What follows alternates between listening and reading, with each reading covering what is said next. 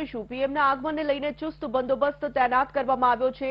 ચાર ડીઆઈજી ત્રેવીસ ડીસીપી પાંચ પોલીસ જવાનનો કાફલો તૈનાત કરાયો. એરપોર્ટથી કવલમ સુધીના રોડ શો પર પોલીસની બાજ નજર રહેશે. આરએએફના જવાનો પણ બંદોબસ્તમાં તૈનાત કરી દેવાયા છે.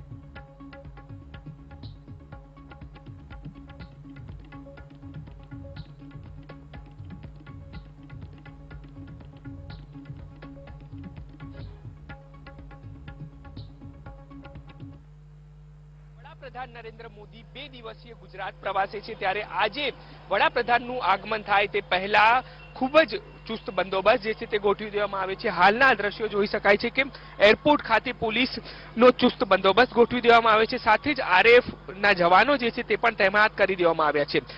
સુરક્ષામાં કોઈ પણ પ્રકારની ખામી ન રહી જાય તે માટે થઈને અમદાવાદ શહેરની અંદર જે પોલીસ બંદોબસ્ત છે તે ગોઠવવામાં આવ્યો છે. તેની વાત કરવામાં આવે તો ત્રેવીસ જેટલા ડીસીપી, ચાર આઈજી સહિત છ હજાર જેટલો પોલીસનો કાફલો જે છે તે તૈનાત કરી દેવામાં આવે છે અને હાલ પણ આજે તમામ અધિકારીઓ છે તે સ્ટેન્ડ બાય થઈ ચૂક્યા છે અને જ્યારે વડાપ્રધાનનું આગમન થશે ત્યારે આ તમામ અધિકારીઓ જે છે તેમના દ્વારા બંદોબસ્ત જે છે તે રાખવામાં આવ્યો છે. એટલે કે અમદાવાદ શહેરની અંદર જ્યારે વડાપ્રધાન નરેન્દ્ર મોદી આવી રહ્યા છે ત્યારે ખૂબ જ ચુસ્ત બંદોબસ્ત જે છે તે ગોઠવી દેવામાં આવે છે અને અમદાવાદ એરપોર્ટ પાસેનું જે આ દ્રશ્યો છે કે પોલીસ છાવણીમાં ફેરવી દેવામાં આવ્યું છે. એરપોર્ટથી લઈને કમલમ સુધીનો જે રૂટ છે, રોડ શોનો ત્યાં કોઈ પણ પ્રકારની ખામી ન રહી જાય તે માટે થઈને પોલીસ જવાનો જે છે તેને ખડે પગે કરી દેવામાં આવે છે અને સાથે જ તમામ સુરક્ષા જે છે તે વ્યવસ્થા ગોઠવી દેવામાં આવી છે. એટલે કે ક્યાંક વડાપ્રધાન નરેન્દ્ર મોદી જ્યારે આવી રહ્યા છે, ત્યારે તેમની સ્વાગત માટે તો લોકો આવી પહોંચ્યા છે. પરંતુ હવે આજે તમામ સુરક્ષાને લઈને પણ અમદાવાદ શહેરની પોલીસ જે છે તે સજ્જ થઈ ચૂકી છે અને